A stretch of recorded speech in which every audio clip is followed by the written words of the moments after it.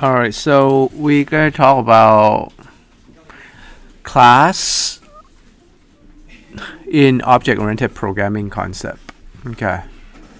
So first thing, what is object-oriented programming? So we've been learning the basic programming so far since like how to write output, hello world, how we deal with the data types, right? Are many type of data. Primitive type, int, long, float, double, characters. What else? Int, long, float, double, characters, boolean, short. Hmm? Byte, yeah. That's pretty much it. So now those are data types, and then we start to make the condition like we call branching statement, like if else switch case. Right, then we can pretty much be able to read in user input, get the condition, and then print it out. Right, read in to store into the right data type. So that's why we learn data type and learn how to read input from the user and then we start to make the conditions right? And now those are just basic making decision in the program. And then we learn how to be able to complete like repetition like iteration. We call iteration like loops right? Be able to repeat things using computer to help. It's gonna be faster.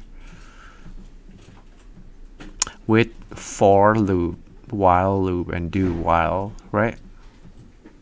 Then we can see some example like we want to print number sequence, some of the sequence, things like that.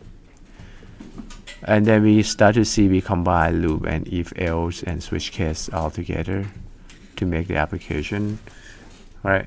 And we see we have nested loop too if we have to do loop twice or nested if like more than one conditions. Now we see the primitive data type pretty much just you declare a data or a variables with the data type.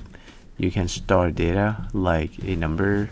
It's gonna be whole number is integer, something like that. Now when we have a group of data, we're gonna talk about array. And I start to introduce you to your little bit, you learn that, right? A group of data that has the same type. So those are pretty much just the beginning of programming. Now, this is very important that you should understand the concept. Like we're looking at things in terms of object. So we call object-oriented programming. Everything is an object. Like programming is, we create an object. Like just represent the real world object like a class pretty much we know the class already. We always declare public class followed by the java file name. So that's pretty much a class the same class that we were talking about. This is a class that we're going to talk about right? So but now what is the class right? The class itself in object oriented programming is is represent an object. Okay? And object has relationships like for example a good one is going to be a car. A car itself is an object. But if you're looking at a car, to build a car, you need many other objects to make a car. Like, could be the, the body of the car, the tires, the engine, steering wheels, brakes, right? Brake. Those are object, right? Brake pads, right? So seats, radios, those are objects. So if you separate them, they are separate objects. But when you build a car, you just bring all the object together to make a new object.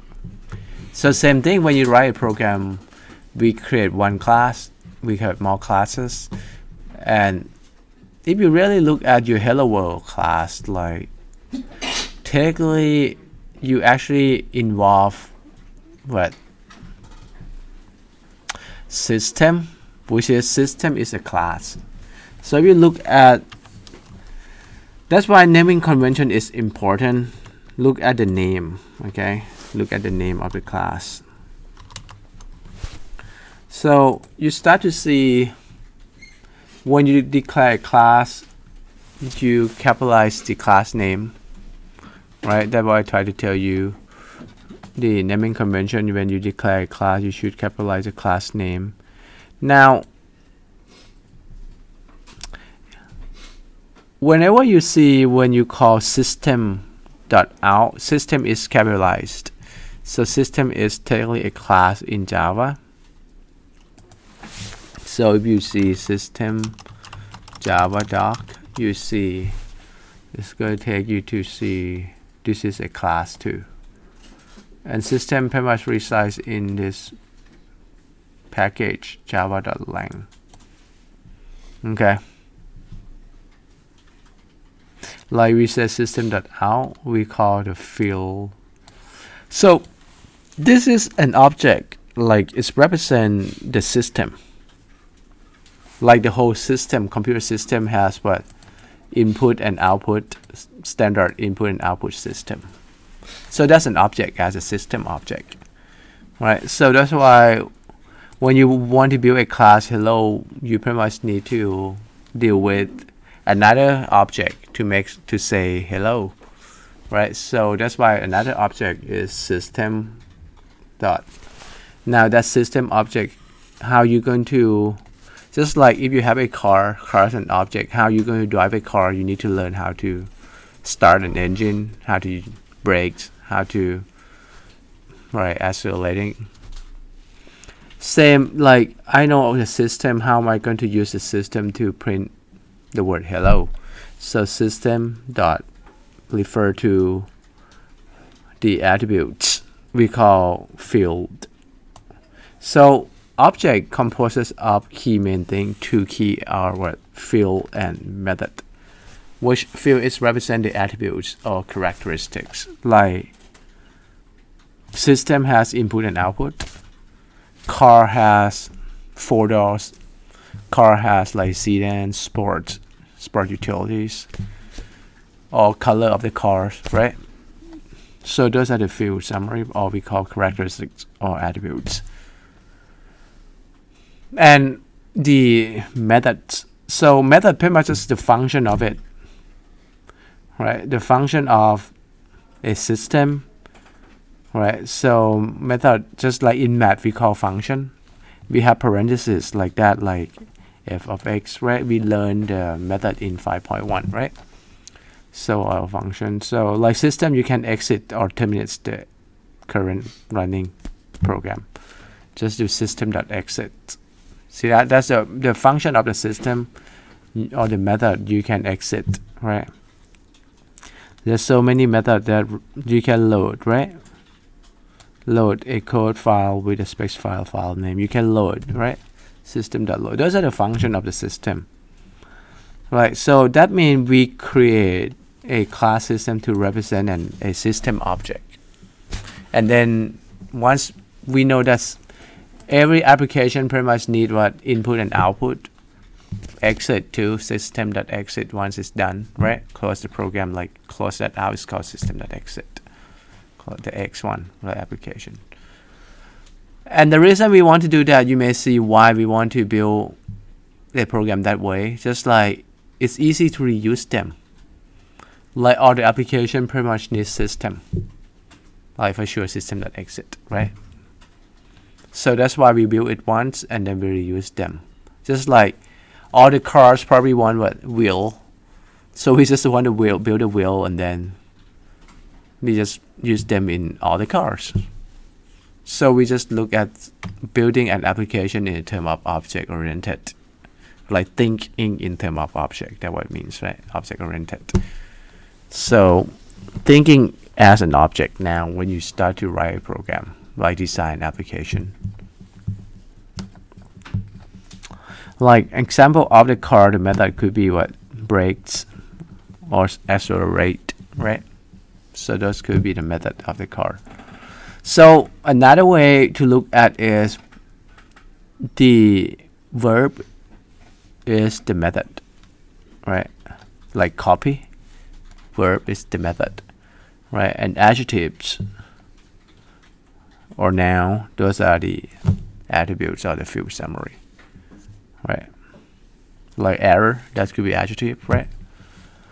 And the noun itself could be the object, like the name of the class, system, right? Okay. So now let's look at class exercise. So now, first we need to understand what is UML diagram, right? UML diagram pretty much just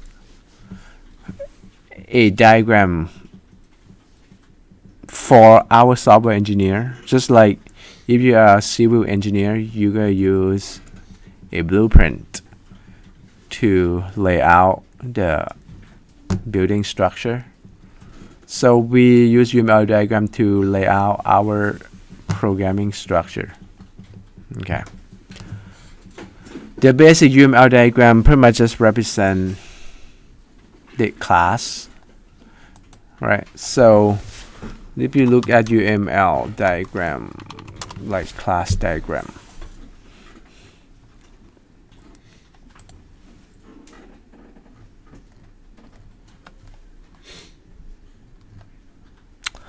like this is one of example flight.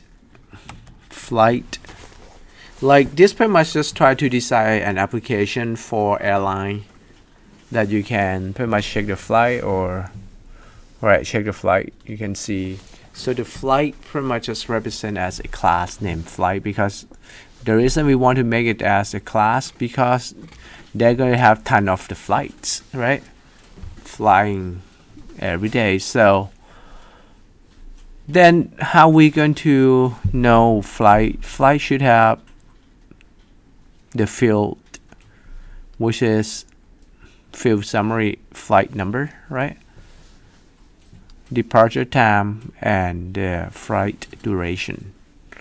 So this is a UML diagram like a table with three rows. The first row is just the class name. The second row is the method summary I mean the field summary just like that. Class name field summary and method summary, right? And the third one is the method summary. And method is with the parentheses, right? Just like function in math with parentheses. Now, we use colon after the name and give the type. Right, so that is UML diagram syntax. Like flight number, the data type should be an integer. Departure time, the data type should be date flight duration, the data type should be minutes. Okay. Now, we have just learned the primitive data types. So you start to see that these are more than just primitive data type. Like in Java, you use int int as a primitive type.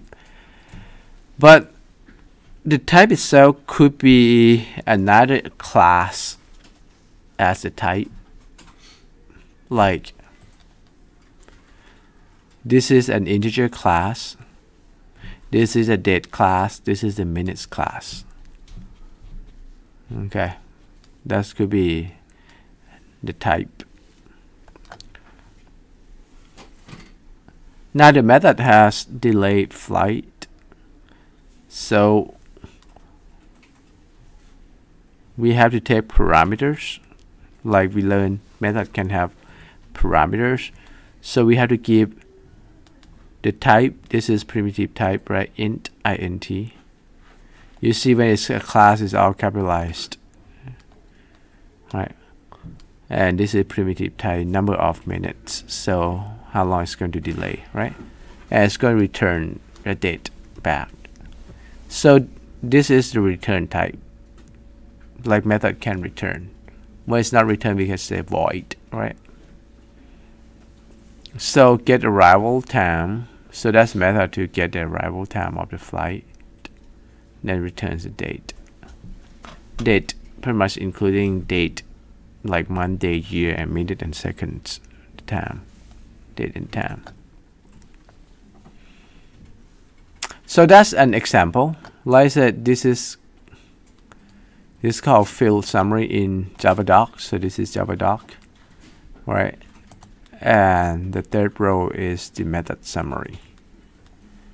Now beside we call field like said, sometimes we call attributes. So that's why it's list of the attributes for like flight number. Right, so these are the attribute and attribute type.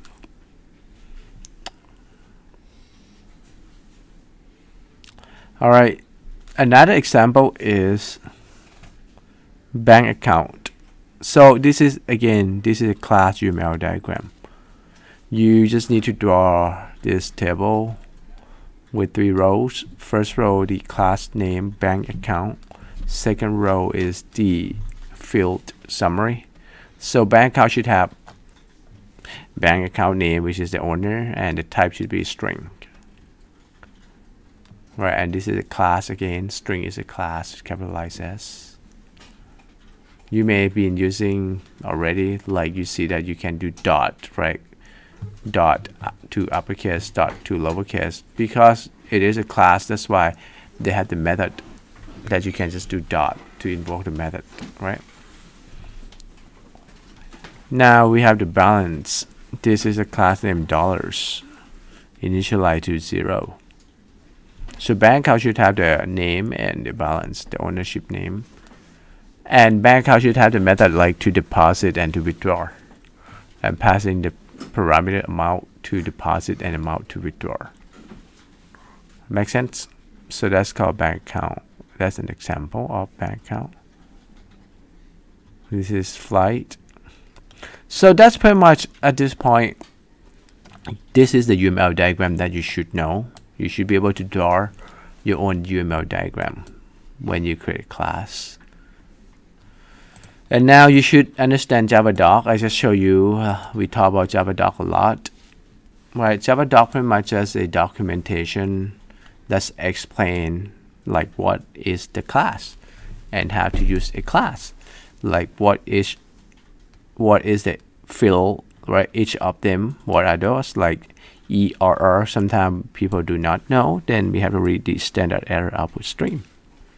Like what's in the standard input stream, what's out the standard output stream. So just explain the field definition. If you click on it, it's just going to more details, right? So that's totally you see the class JavaDoc has the class told you the package. Like tell you package pretty much is a folder named Java, another folder named lang, and put a system inside that folder. Right, that system.java. After you compile, you get .class. So that's pretty much just be like made more organized, organizing your files that way with the package. So now this is pretty much just going to call that, uh, tell you in tool 1, after this class, you learn this concept we call inheritance. So pretty much system is inherited from object class. That's another concept of object-oriented programming besides knowing class, class with the fields and methods, right? Then you need to understand that's the next concept, inheritance. Okay. So at this point, you don't have to worry about inheritance yet. Inheritance is like you can reuse the class and make changes to the class. Like you totally can drive your dad's car because it's inherited to you okay but you can also change make changes a little bit right on the way you drive something like that. But you learn more about that. Okay that's into one. So now only focus on understand yeah how to read the UML diagram. What is JavaDoc? How to read the JavaDoc right? Like field summary. And the method summary same thing. Explain all the methods in that class as well as how to use it. Like returns type this has no return because of void. This has return string. So when you clear the property you pass in one parameter string type which is a key to clear and it's return a string back. Now how to use that you have to understand re like read the descriptions. Remove the system properly indicated by the specified key. So you want to learn more it's pretty much just say key is the name of the system property to be removed. Right. So like like now when you start to read the java doc you pretty much understand better how to use the method like if a security manager exists, its security manager dot check permission method is called with a property permission key write permission. Right, so when you do something with the system, you probably need yeah the right access to modify with the key, right? Something like that. Okay. So that's the point of JavaDoc, like to explain, meaning that when you write in new class, your own class, you want to, like so far you never write your own class. You've been using it like string with the method, math, right? Like before we do math.absolute, like so math.square root. This is a class with the method that you've been using it. So this, you're pretty much going to create your own class. Like you try to create your own math class. It's just like you, you try to create your own method, right, in the class and you try to use them. So you technically want to make sure you can start to draw the UML diagram and be able to create a Java doc. I've been asking you to do Java doc. Maybe remember that with the Java doc comments slash to asterisk, right? And closing with asterisk slash. So that should go on the top of the class level and on the top of each method. In that case, it's going to create this definition for all the methods, right? The descriptions. And at the class level, it's going to create the, the document at the class level right here, right? So that's why Java doc is important. So let me show you one more time. Like for example, when you create javadoc we use slash asterisk asterisk entered, and then you just explain diamond class right is a class to draw like just explain right to the user make sure that user try to use your class they understand how to use it like the way system or method or string they do. And each method here you should have like normally you don't need to like a class itself doesn't have main for the one that you try to reuse it like math class string class right? So the one that if it's a main that means this is a like one application should technically have one main to run the whole application like the starting of the application right so draw diamond right so you see this is a Java doc that you should put on the top of each methods. Like now I have two methods, right? And then this is where you start to explain what is n, right? Right? And this is really makes sense when you compare back. Like what is key? You need to explain what is key. i Otherwise user do not understand like what is n, right? Like draw the diamond, right? So this is based on our previous class exercise number of lines right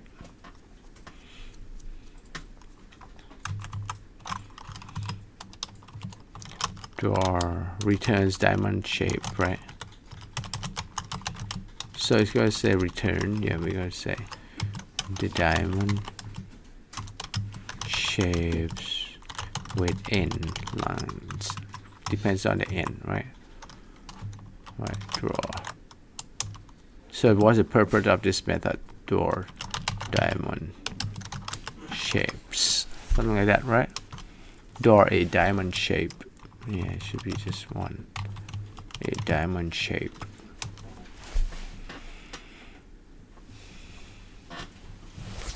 So that's just an example right of how to write java doc and you could generate it right? So with IDE you can like this is IDE for IntelliJ you can go to tools after you put the comments for Java doc you could generate it.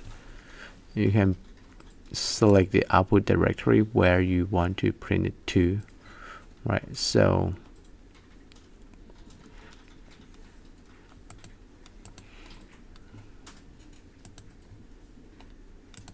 let's say for example if I put on the desktop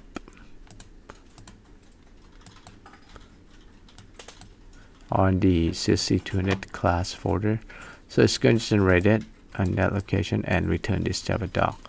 You may see this is the explanation like this is exactly the same thing that we type at the class level diamond class right? So explain what is a diamond class. Is a class to draw diamond shape. And each method so the method summary here. Now that's one more thing that you like to see right? So like now I don't have the field summary because I didn't create a field. Field technically just like an attribute like these are the methods right? An attribute of the class. So like you could just say private and add the attributes like the color of the diamond something like that. So that's gonna be string right so same we can just explain the attributes right? Color of the diamond. Right so this supervises the field. So let's regenerate again since we make changes. And you can see it's just ask. Let's see looking for the field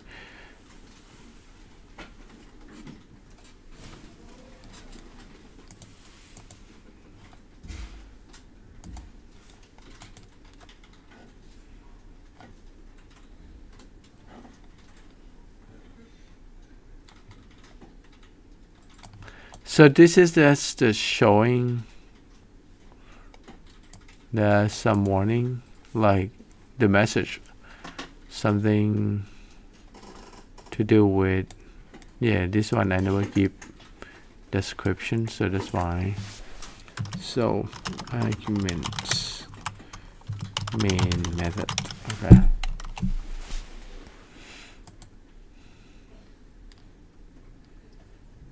let's regenerate every time you make changes. Alright so this is the class.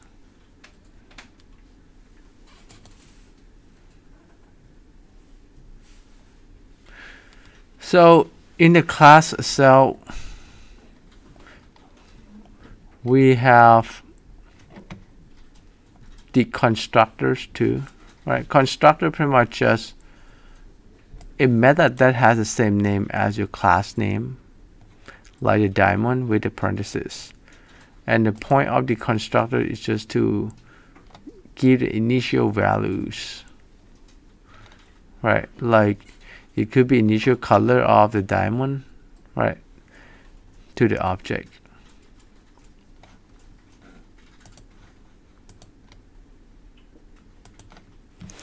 So what I'm going to do, since I declare this as private, I'm not going to declare, I'll remove the word private out.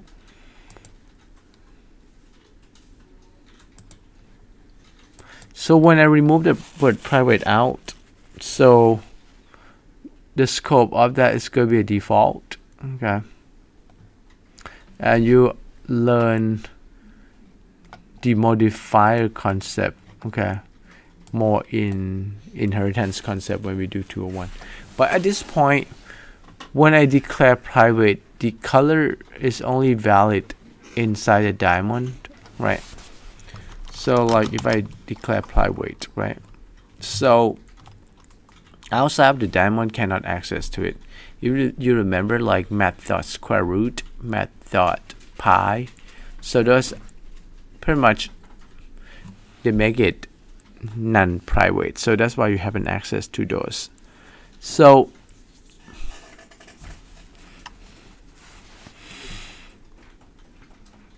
now when we make it private, this color is only valid to use inside the diamond. Like you cannot say diamond dot color to access to the color anymore because private.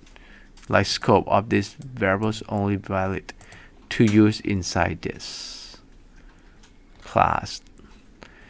Now let's take a look at the constructor. Like now, you see that there's one constructor which is an empty parameter named diamond. Okay, so the constructor, this is called a hidden constructor, meaning that you never declared here. By default, you're gonna have, if you don't declare a constructor, the program will declare it for you. And this is a constructor without the parameter. Okay, and it's public by default. So you could declare by yourself too by just write the method name that diamond it's just like that okay so it was declared like that for you automatically okay from this compiler so the point of the constructor is it just give you initial values in this case there's no initial values just like empty just make it to make sure that when you create an object it's first called the constructor first create an object from the class name. Like now, for example, if I want to initialize the color, I could just do color equals to rate. So that means whenever we create a new diamond object, the diamond always going to have red color because the constructor initialized the values to it. Same thing, the constructor should have the Java doc too. Right initialize diamond color to rate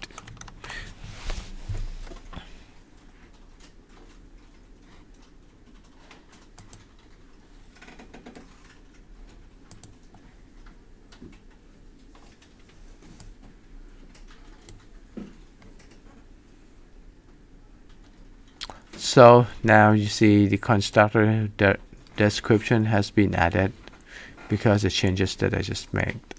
Because no longer hidden constructor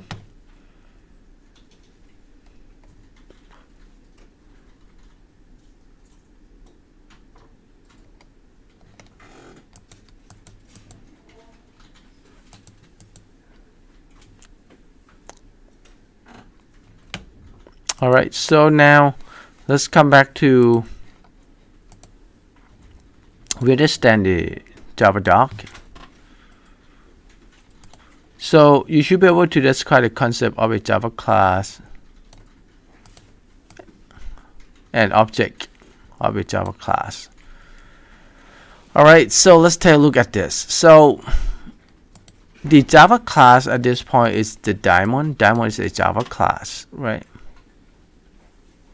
Now if I want to create an object it's going to be the same way that you normally do when you create an object.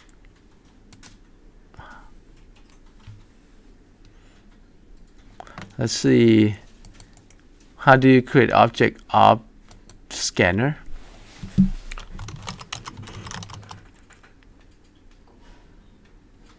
If you have a scanner class let me make sure I don't name the same because scanner technically is come from the library, right? A class that's created named scanner. So let's rename the file to scanner demo. So how do I use scanner?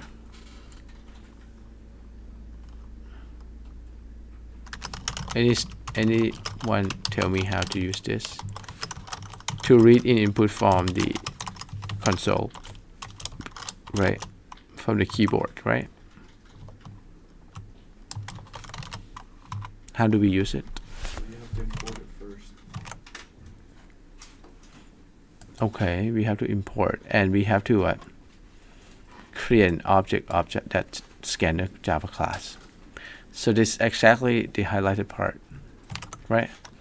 So how do you create an object?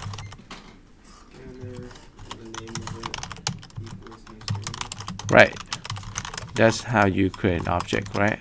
And you see when I do the name this is called what? This part if you can notice this.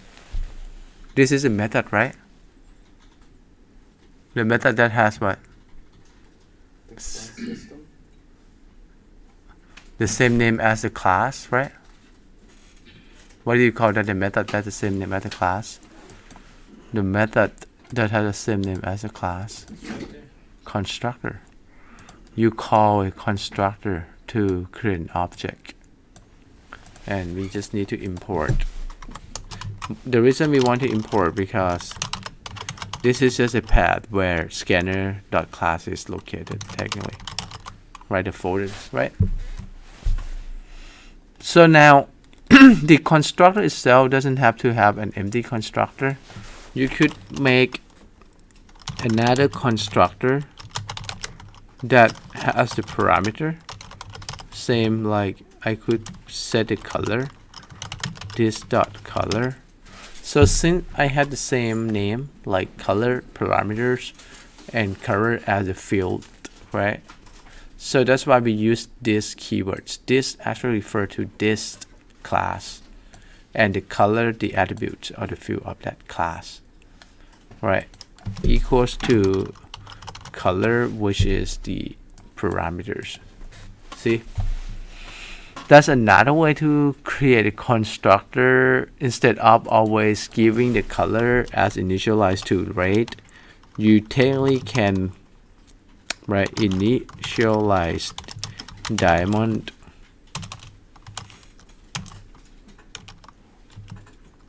Color to color which is the value that the user passing in right? If the user how do the user passing in right there? Like for example I could use diamond now right? See that? I create a diamond I can use it. Like how do I use? An object of that class right? Of Java class. An object name diamond equals to new the diamond and if I didn't give the color this diamond is gonna be what? Color? Red. But if I give the color? It's gonna be blue. Just like you give the parameters value like that right? So that's it. I create my class. I use my class. Do I need to import? Since it's in the same folder then I don't have to import. If I move it into different folder, then yes, I have to import. light if I move this diamond, how do I create a folder for it? You could name package because we call package, right? Package edu.nvcc.csc200. So that's how you you just use keyword package and when you do move it it's going to create a package for you right there in this case if you look at the actual physical folder it's technically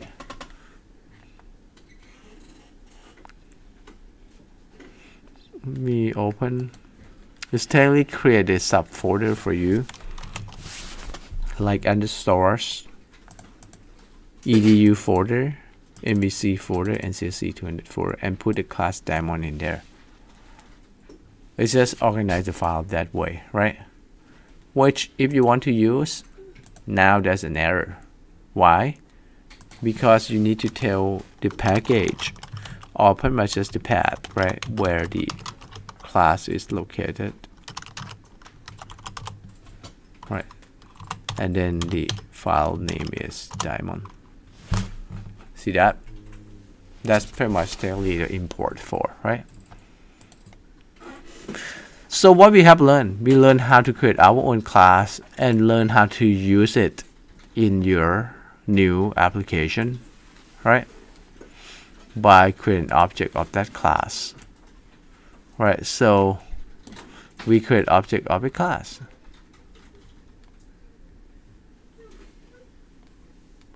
Okay we just create a upper class named diamond with a lowercase because Java is case sensitive, right? We create a Java class named diamond and its method are like draw diamond right? So technically if I want to create this I technically already created. I could complete the application by what system.out.print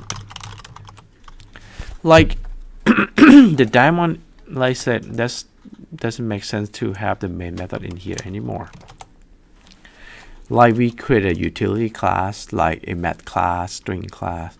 They don't have a main method. so the application that using it pretty much has the main method just like hello world application that we do right? So enter number of lines right? So it's going to prompt user and user just going to set in n equals to use the keyboard. Enter user enter the number of lines we read in the integers. How many lines right? User entered. And then we pretty much just try to draw it right? How do we draw it? We just this is we don't need this because we already have main. We just call the diamond right? So how do we call the diamond just like like keyboard.next int we just call the object diamond right there and the method in that draw diamond and with the n that the user enter in. So this pretty much going to draw the diamond shape right? Because we invoke the method inside the diamond that we have created right here right? So let's run this application so it's going to prompt the user to enter. Okay so let's run from this one. Because the diamond itself no longer have main class that's why I say that. We had to run from the scanner demo. Enter number of lines six. So let's just draw a diamond for me. And this is pretty much I can package this as a library right? And then whenever the application need to draw a diamond you can just import it to use from this package and that's how you use right same concept that we learned how to use math class string class right but now we create our own class and we use them Make sense? Like, and we do it this way, then it's technically better. You see that? I make a library that I can draw any diamond shape with any number of lines that the user specified it. Right. Bigger diamond shapes. See? Same code here. If you want to loop, keep prompting the user to enter n, then we can just add the loop in that we have learned, right? So how do we do that? So its first loop has to remain things, right? Initialize, condition, increment, right? So initialize pretty much just give the initial value how many times loop is going to repeat. In this case, I want the application to keep asking the user until the user enters zero to stop. So that means terminating is condition has to be while but con continue. Oh, that's keyword. So proceed. This the variables, right? So just say in proceed. Initialize to the value that the user enter. Actually, maybe I should use true or false. Just do boolean then. And we want to prompt the user to say continue, right? First time I want to make sure it's going to loop, so I initialize proceed to true. So while proceed is true, right? Initialize value, right? And condition true. But increment, in this case, increment is pretty much just it to false, the stop, right? Changing the proceed. So you're gonna say it's proceed.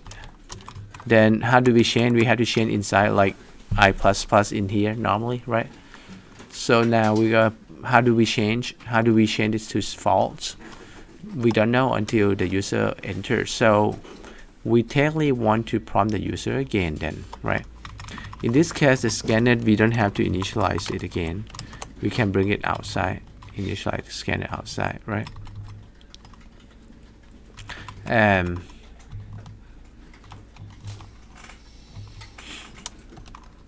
now we want to change the value right? We want to make application keep asking user to enter the number of lines keep drawing the diamond until the user said stop right? So that means we after we draw the line we have to print the message. Do you want to continue right? And then we have to read that message in right to set the value of the proceed right? Okay. So the user is going to enter the value. How do we read in the value? We already have the keyboard right that we declare right here. Keyboard that with integer is also can read. So the user going to enter yes or no right? So you have to say enter y or n right? So keyboard dot. How do we read a value? Next right? Next you're gonna see you're gonna have wire in. So this is gonna be how do we initialize that? So if right? If if next this is a string right? So we have to use the method of string equals to so we want to do equal ignore case because user could be enter capitalized y or lowercase y right? Equal ignore case equals to what? Y. If the user enter y. What do we do? If you want to use a shortcut that we have learned in the test the if else shortcut assignment operator right? Then if it is y that means you make it true otherwise false right otherwise you just assign false to proceed. So this is called assignment operator right? Like just like if else statement right? The expressions this is like if else expressions. So we prompt the user to say do you want to continue? User is going to y if it's y we say if it's y then it's true. Process true then it's going to keep prompting if user enter n then it's going to be false or anything else right? All right so let's see. Let's test the application. Enter of lines. Now you may see this is the benefit of what using class you don't have to worry about drawing the diamond anymore because you separate into another class that dealing with drawing the diamonds which is the previous assignment, right? Now this one you just focus on how we going to prompt the user right to repeat like prompting the user. Do you still want to continue? Yes. So now once yes? It's supposed to go back and prompt the user to any number of lines, which it didn't do that. So we can fix that because when it's go to yes, it never had the statement. So that's why we have to move the statement inside the loop, right? So let's try again. See, we just separate the concern now, right? Separate the concern. Like we don't have to worry about how to draw diamonds because it's being done. Now we just worry about how to repeat the loops to prompt the user. Do you want to continue? Yes. Enter number of lines again. Now I don't have to, it's going to keep repeating. I don't have to worry about running my application all the time, right? If I say y, so it's still continuing. Number of, number of lines. So store diamond for me. Do you want to continue? Yes. See. If it's right. So let's keep drawing the diamond, right? Hmm? That's cool. Right, because we said why, okay. Because of the loop, right? So pretty much all the application that you run is actually in the loop. If you notice that. It's just never close until you hit exit. Every application that you run is in the loop. So do you want to continue and say no? No more. Exit, right? Exit code zero. That's how you exit the program, just like you close this out. That's going to call system.exit and give code zero. So now we create class. You can see the benefit of creating a class and we create an object from that class that we created and use the method that we create earlier, right? By importing it to use. And we create another application of that class, right? You may see we can start to actually make a simple small game, right?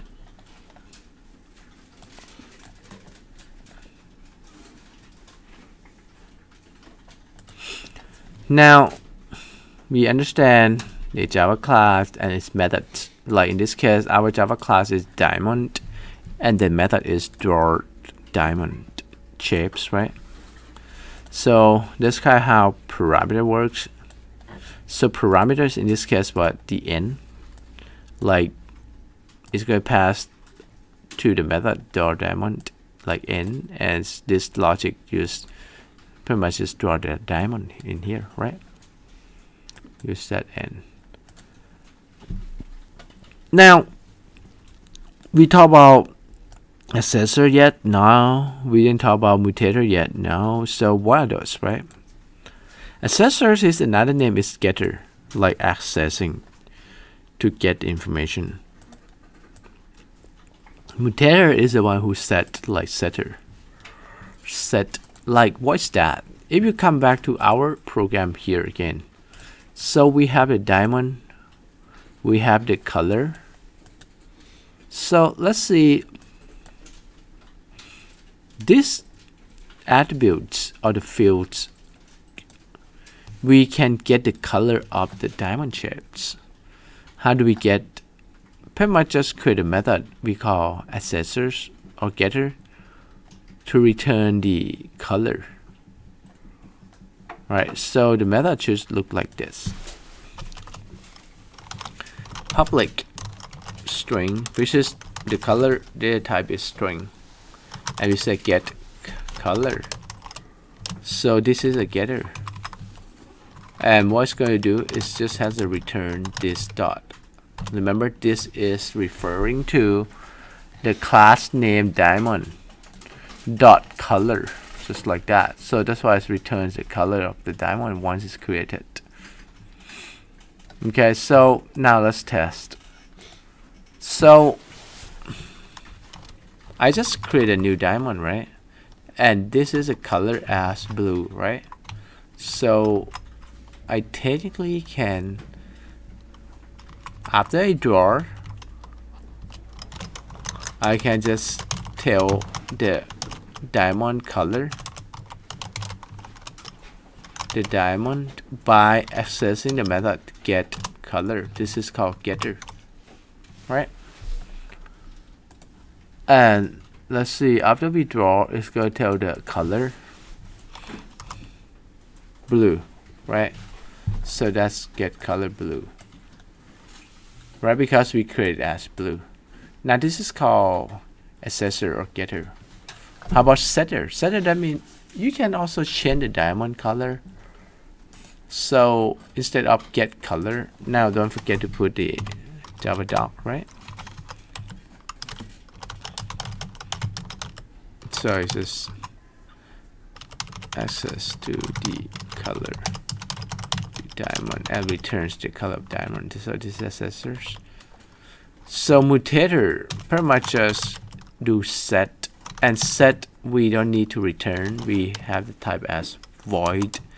We set the color. The color need to have a parameters, which is a string type as the color to set like we technically can change right. The color of the diamond right? This refers to diamond dot color equals to the new color. So this is called setter. Okay. So set the color of the diamond. Another name is pretty much just mutator right or setter. So diamond color has to pass in as parameter here. So let's test that. So the diamond after we get color it's blue we can technically prompt the user to change the color of the diamond. So I say okay please enter a new diamond color right? So the user is going to type the color that we gonna read in from where? Keyboard right? Dot next again. And this one pretty much is going to set to where? The diamond has the setter which is set to the color that the user enter in. Right so then when we get the color next time it's going to change the color. But how do we make sure it's going to change? We have to remove the diamond outside of the loop. Otherwise it's always creating the blue every time. Alright so it's going to change in the next line and display new color. Alright so let's try. So first time is blue. Please enter new diamond color. Let's say green do you want to continue? Yes. Enter number of lines. 8. Now the diamond is green because we, we make a setter to change it to green. Even first time we initialize as blue. So that's the point of using set and getters. Right? Get to get the color, print out the color, set to make changes to the color.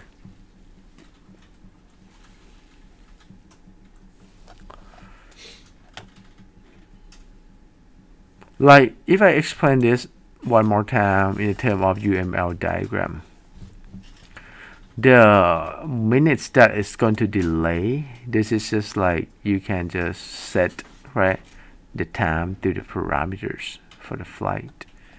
Or if you look at the bank account, this is like when I deposit, I just set set what set a new balance. That's like setter withdraw same I set a new balance after withdraw by subtracting so it's just very similar to set and getters. Okay. Alright so now we talk about constructor already. Let's come back to review the constructor for diamond again. In this case diamond I have created two constructors. One is the we call default constructor which has empty parameter which you initial values initialize the value inside another constructor this is the second constructor we have. We have two constructors. Those are the method name right? That has the same name as the class name. The second parameter has a parameter. The second constructor has a parameter. And this parameter is one parameter. Just take the color to pretty much initialize the colors to the constructor right this concept we call overloading. Overloading constructor, meaning the constructor has same name, right? It's overloaded by two that can be different in the term of parameter passing in and no parameter passing in. No parameter passing in, the diamond will be red color otherwise it's going to be the color that being passing in So this is pretty much a summarize of all the concept in the bullets here that I show you. You can watch more videos that talk about this UML, Java doc, and class. Okay, and show you how to create Java class, just like I show you just now. Now after that, you're going to have the class exercise that you have to write your own code. Call a person, and this person has pretty much two two fields, or we call instance variables which is the name and the age, right? Those are the fields, right? Person has name and age. So now UML diagram. So you, I would recommend you use the, it's like it's free Lucidchart UML. You can sign up and get account for free. Um, they technically have a template for you to use.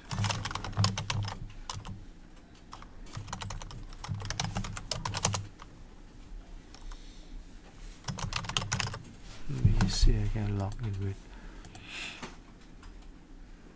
Okay. So, like this one, I have a UML diagram.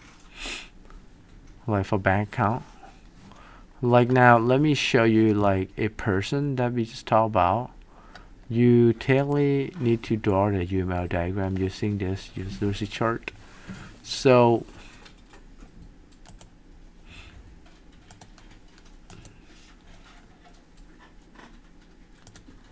I'm looking for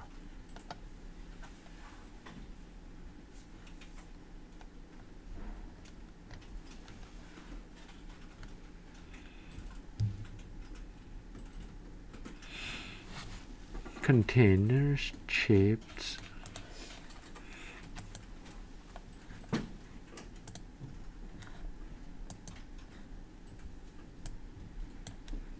hmm.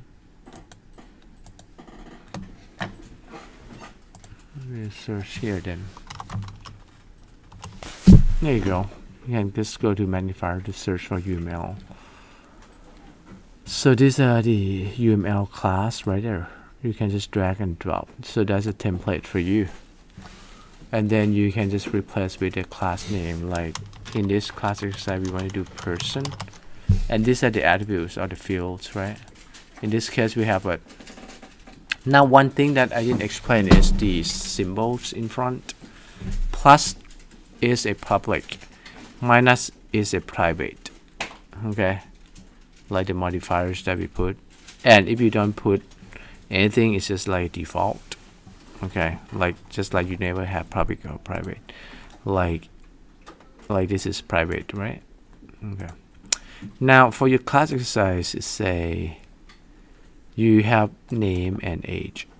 We didn't tell you. You is public or private. And we always want to use private okay? And the reason is we're gonna learn the concept of encapsulation. We want to hit hide the data from the world. So that's why we want to make it private. So this is age and type should be int or short right person sure no one will will be like thousand years old so let's just short age name which is string, right? So you just use the colon to separate the type like we see that, right? Okay. Now it's only two then. Let's come back to the question again. Add methods to person class to perform the following task. Now this is a list of the methods, right? Constructors, initiate values of person object, one without parameters I shown you that and another with name and age as parameters so we can have two parameters right so technically you can just put in here right as a constructor. And constructor always public right? Because when you do create object it's always create from the constructor. Plus public is the plus person. And constructor doesn't have the type right? So now this is with parameters which is age and again this is going to be name first even in parameters and then the type after the colon. So two constructors right?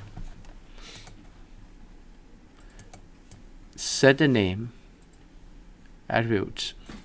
Pretty much just setter right? We talk about setter set the age. Get the name get the age. So now let me draw that out. So in the UML diagram. This table want to be all public because it's going to be used when you instantiate an object. Get name right? Get name will return a string type no parameter need. And set set name. Set name we need a parameters which is name string all right and this is going to be void type because not returning anything. And the same as what? Get age right? Short. And set age age short. And it also asks you to do one more this is very important. To string. Okay. toString method pretty much just a method that returns information about a person. Like pretty much just like print statement like name and age of the person. Okay. So like in this case I didn't have toString I should have have two toString pretty much just returns like public it's always return string. toString it's very common that the classes should have two toString methods. And what we're going to return in this case we're going to return all the attributes values. In this case we only have one. Pretty much just going to say like the string the diamond color is right if you have more than one attribute pretty much just concatenate them right here. Right. So that's pretty much just toString. And normally toString we like to do annotation override why? Like again this is inheritance concept. Like all java classes remember i show you system inherited from class what system inherited from object class. See that? All Java classes, they are inherited from where, you know? Object. Like the one that we creating just now or hello world. And object has one method which is one of the method is toString. We technically override that method when we create our own toString as a subclass so that's a concept. So that's why we like to do override. The reason it's not required to do that. The reason we want to do that because you know why? If I happen to misspell toString, this is also a still valid method, right? But when I put override, it's going to tell me right away that this is wrong. It's going to check the error at compile time method does not override method from the superclass, which is that object. So you know that you have a typo because your intention you want to override. And why we want to do that? Because this is a special method. Like if I want to print information about a diamond, I technically can just say system dot out dot print and call the instance name. I don't have to call the method name because it's going to call that toString for me whenever we call the instance name like that okay so that's why toString is important and it's very common to put it in other classes let's say purple Yes. The diamond color is purple. See that? This is gonna call toString version that we just created. Now that's why I want you to write a toString. Okay. A toString. Now that toString pretty much is public toString with a capitalized S. And it's pretty much just gonna return a string pretty much just print the name and the age of the person like Mr. David 16 years old something like that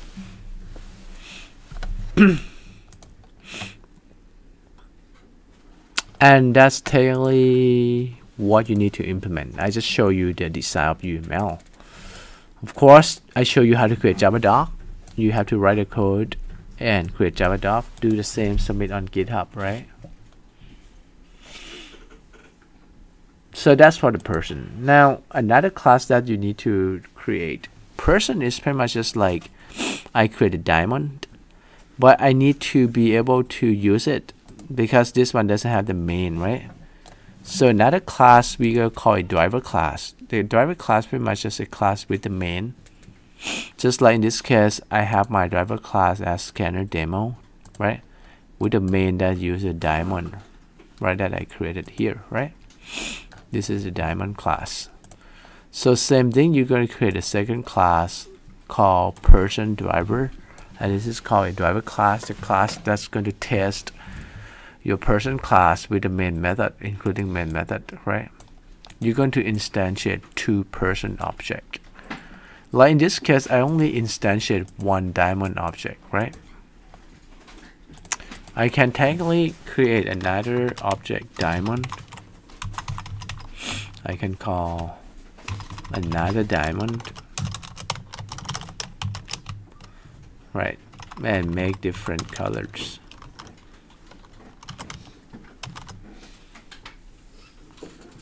G-R-E-Y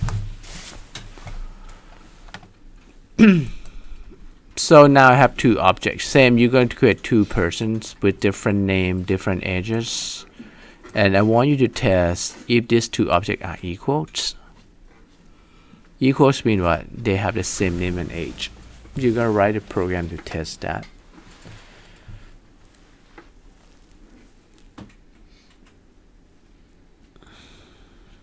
And write a program to test either whether this two person has the same name same age and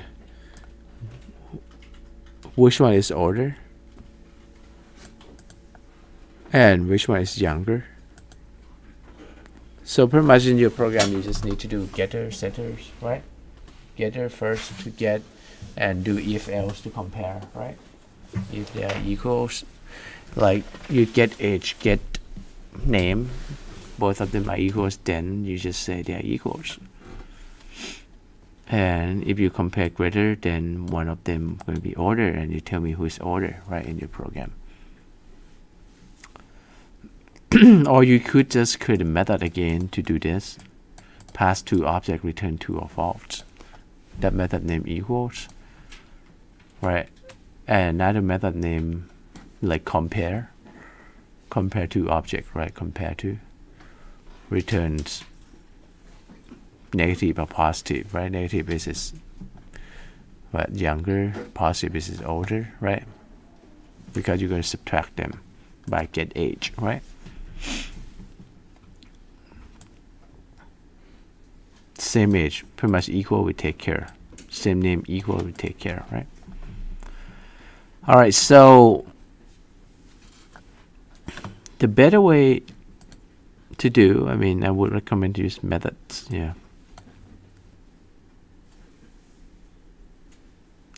and if you want to use method like for example you could create more method like equals in here. Just like toString remember when I told you in string class you can do dot equals right? To compare two two strings. So that should be the same principle that you should do. Like you create public and return true or false. Equal. Is it equals or equal?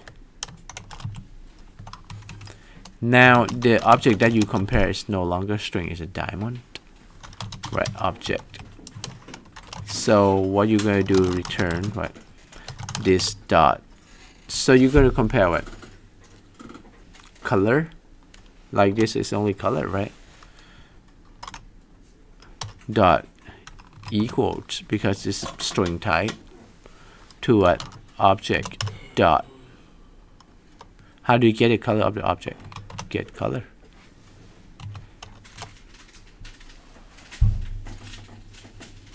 So if they are equals that's true right? Now in the program that you want to test like that is the best way to do right? You create two objects. So we will say if diamond dot equals you technically can just print out right system dot out print what do you want to print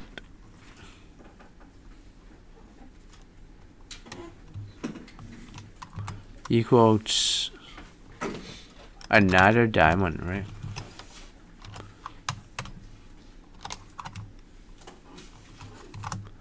So this is going to be true or false. So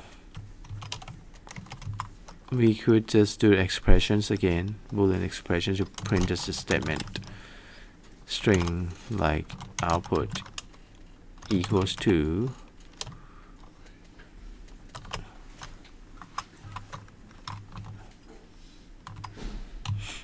so we gotta say if it's true then we gotta say object uh, do two objects are the same right else it's false that means two objects are different. Okay, that's a statement. After you compare and just print the output for me if they are the same or not. So that's pretty much an example of you could do that, right? Two objects are different.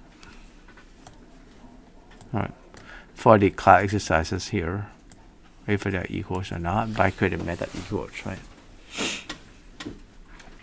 okay so you can apply that principle for the rest and this is should do like for the numbers you can do compare to just like in string they have compare to like like letter a and b right b greater than a so use the same principle, right, compared to in that class. Alright, so that's pretty much it for 5.2. So next class we'll come back and look at 5.3. So try to spend more time on this one. Like I said, it's very important. This is very important topic, okay?